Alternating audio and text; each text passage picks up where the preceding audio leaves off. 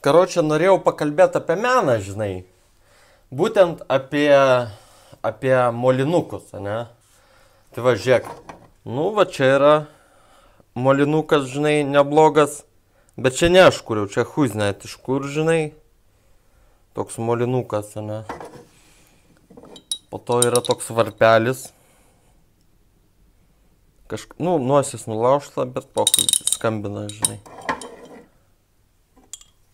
To yra katinas toks, ne? Čia ne aš kūriau. Po to parodysiu, ką aš galiu sukurti. Nu, va, dar vienas varpelis, molinukas, ne? Ir, ir kai mes žiūrime į kažkokį tai meną, ne? Mes iš karto mat, va, pamatai tokį molinuką, tu, tu matai, kad va, čia yra nu, daug detalumo įdėta ir daug praktikos, ne? Nu, čia biškai per ilgas. Daug praktikos, ne, įdėta. Yra trys, trys tipai menininkų. Yra su natūraliaisiais talentais, ne? Yra, kurie išmoko daryti ir yra tie, kurie neturi talento, bet yra užsispyrę, ne? Po to va, čia. Ir, ir nes, nu čia biškai, atrodo, nulūžęs. Ne, nelūž, nu toks, žinai. Čia yra menas, tipo. Po to šitą rodžiu, nežinau, čia padukas kažkoks, nu, tai čia molinukas. Ir iškart nesvarbu, tu muziką, klausys filmą, žiūrėsi, pažiūrėsi kažkokį tai daiktą ir iškart matosi, kad reikia kažkokio, kažkokio skilo, ne? Ir kadangi aš esu, žinai, šūdmenio kuriejas, tai parodysiu, ką, ką aš sukūriau prieš daug, daug metų, penktoj klasiai. Čia spėkaša. Čia yra Eifelio bokštas. Suprant? Čia yra Eifelio bokštas. Nu, matai, nu, šūdmenis. Žinai, Eifelio bokštą galima ir detaliau padaryti, nu, bet kai skilų neturi, žinai, tai nieko tu nepadarysi, šūdmenį, žinai. Čia yra dar kažkoks čuvakas, Nu, tai nuglazuruotas, išdegintas, žinai. Ir e, čia tipo peleninė buvo, žinai. Ten kažkoks šudukas, žinai. Čia tipo peleninė buvo, žinai. Nu, biški, nedeginta šitą. Nu ir čia, čia, čia kas? Čia paminklas, paminklas, paminklas, žinai. Turėjau dar kažkokiu, bet neberandu kažkur padėti ar išmesti, žinai, huiznėt. Ir supranti, kuo skiriasi menas nuo šūdmenio, ne? Menas nuo šūdmenio skiriasi tuo, kad tie, kas kūrė šūdmenį, kaip aš, ne?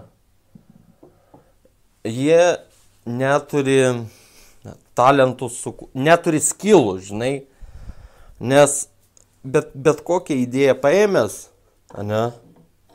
bet kokią idėją paėmęs, tu, tu ją įforminė, ne? ir jeigu tu neturi skilų, e, kurios beje ne visi gali turėti, žinai, tai pas tave ir gausi šūdmenis, ne? Ir mes galim žiūrėti į paveikslus, kurie, kurios nupiešia dailininkai, žinai,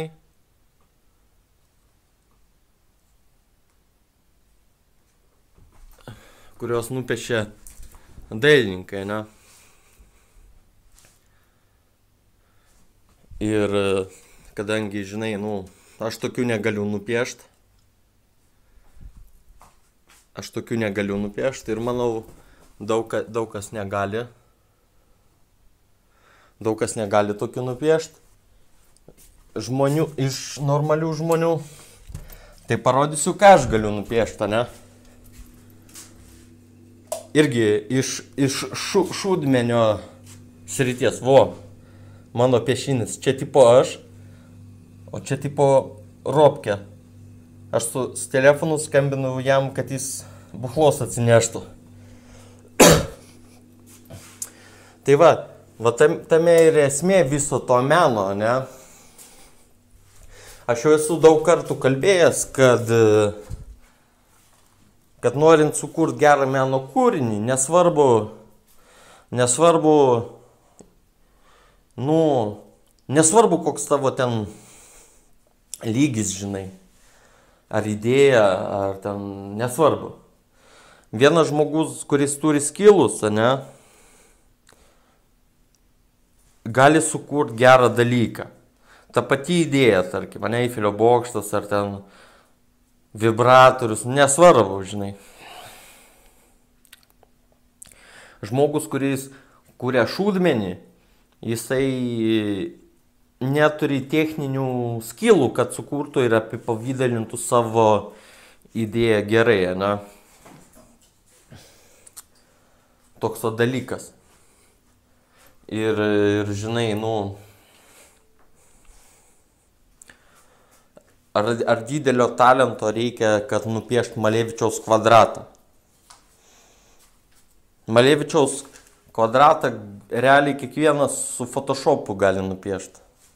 Ane? Toks va dalykas. Bet tai yra idėjos įgyvendinimas. Ne Malevičiaus kvadratą nupiešti nereikia didelių įgūdžių.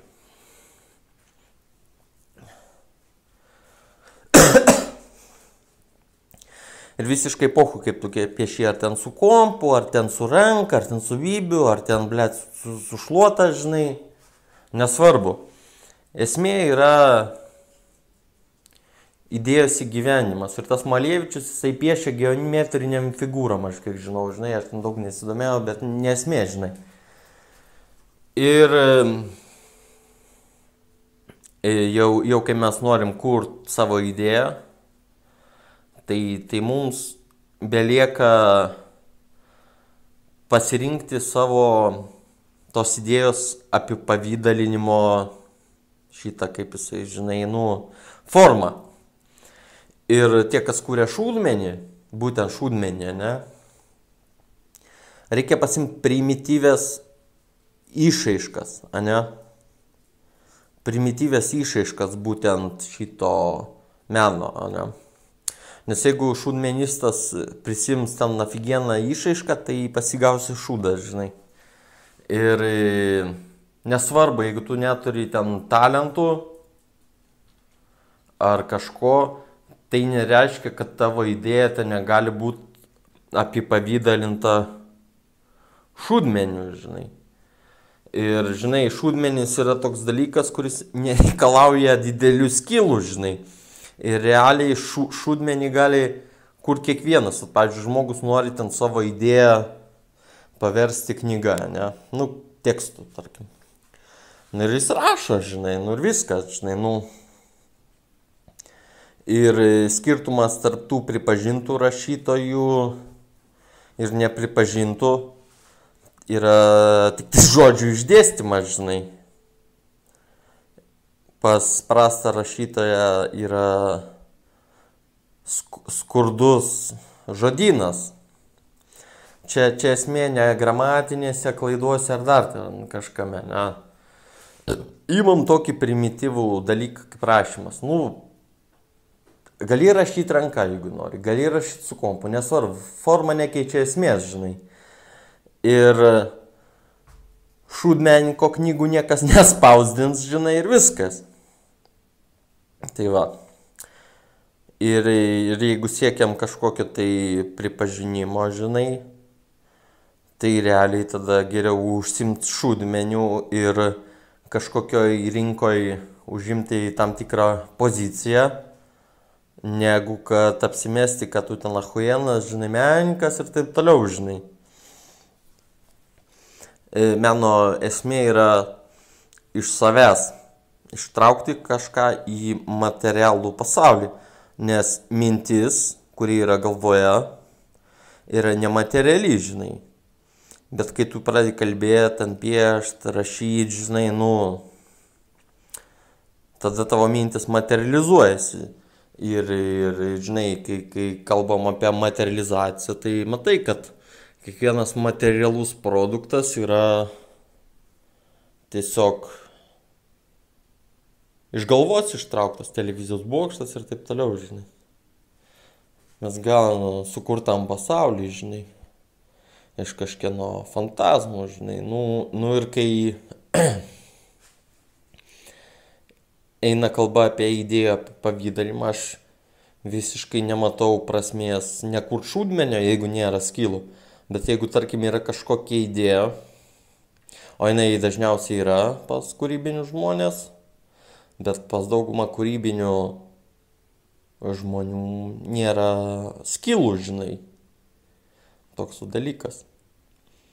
Ir yra du keliai, arba kur šūdmenį, arba tobulint skilus, žinai. Tai va toks dalykas. Psiau, davai.